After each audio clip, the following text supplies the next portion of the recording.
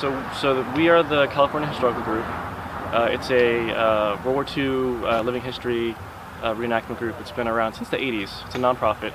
Um, we're kind of headquartered in Southern California, but we have members that go all the way up into you know Northern California. We as a unit are doing uh, garrison troops for uh, at the time it was a Hunter Liggett Military Reservation.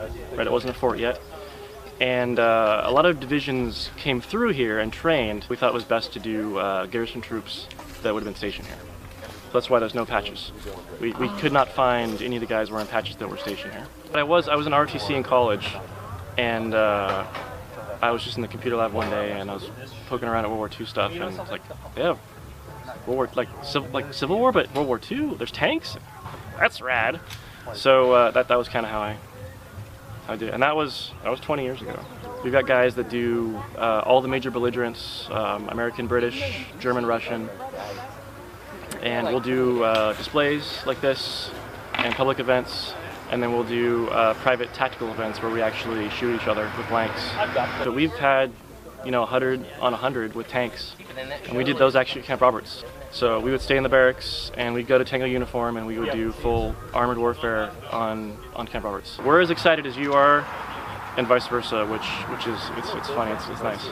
I'm supporting the 328 uh, medical hospital range this weekend. I'm a reenactor and when we were driving by I saw the tents and the vehicles and I was like, I gotta stop.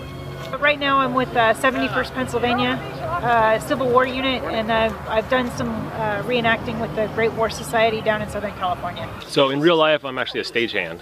So I work backstage in theaters, uh, rock and roll concerts, things like that. This, this particular setup would be 1942, 43, somewhere in that era. So the cartridge belt, this is a first aid pouch.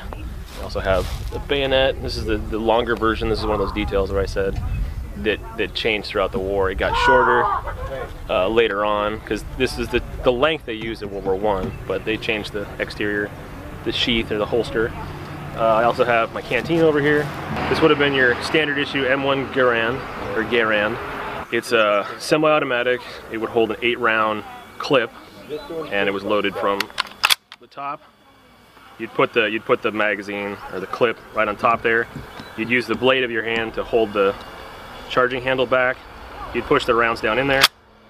And be ready to go. Based on the manufacturing year, it was sometime in 1944 that this one was made. It's it's like any anybody else's hobby. You spend you know your time and effort and, and passion for it, accumulating all this stuff, and you know it just it never ends. You think, oh, I have the basic kit, and you're like, well, wait a minute, I want stuff that's later in the war. I want stuff that's earlier in the war. It just it never ends. But yeah, it's all my own hard-earned money going to something I love.